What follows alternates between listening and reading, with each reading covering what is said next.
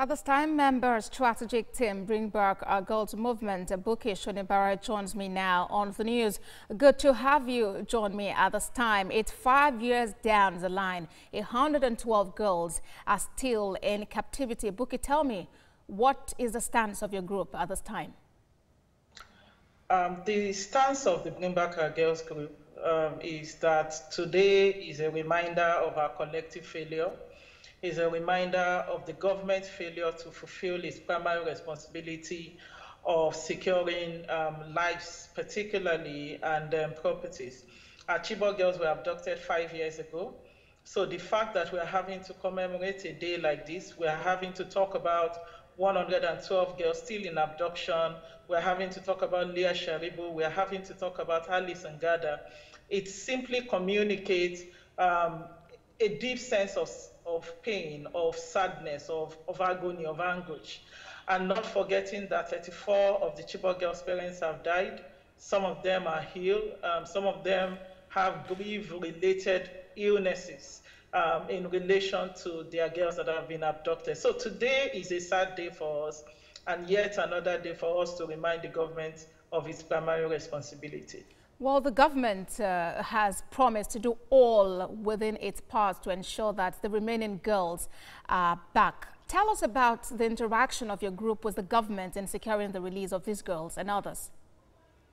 Um, I have to say first that commendably, we've had 107 girls got back um, directly related to the effort of the federal government. Um, there has been 21 and 82 girls that were brought back by way of negotiation and four um, indirectly by way of uh, military actions. Um, but then when we look at the expectations from the government, which then connects to the question of our relationship and our communication with the government. It has not been good. It's not been like the way it used to be, where there was um, access and there was opportunity for us to communicate what is going on.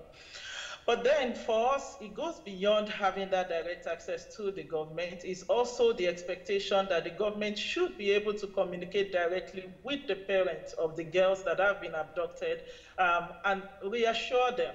That's what we expect. So we've not had that much of communication directly with us, but we expect much more in terms of communication between the federal government and the relatives of the girls that are still in abduction.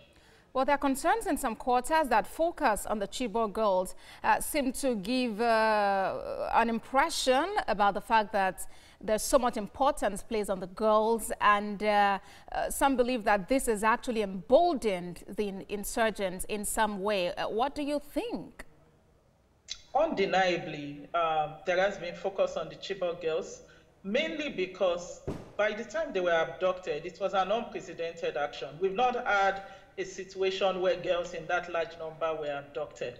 Um, so it's understandable if there is focus on them and that global outcry that we had. But it would be unfair to say that we've only focused on the Chibok girls because we've used the Chibok girls situation to serve as an entry point to the whole conversation around peace and security in Nigeria to the conversation around missing persons, to the conversation around um, ending the Boko Haram insurgency and ensuring that there is peace. Um, we understand also that because of the globalization of the campaign and so many other factors, um, the insurgents saw the Chibok girls as their prized asset. Um, but if the government had not failed in protecting the girls in the first place, we wouldn't have given the insurgents the power to use our girls as a negotiating tool. Bukky Shonibare, member strategic team, bring back our girls movement. Many thanks for joining us on the news.